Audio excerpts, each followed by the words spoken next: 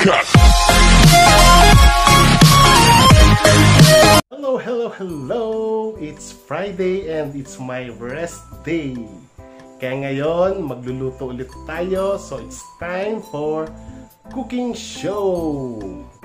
At ang lulutuin natin ngayon ay bulalo.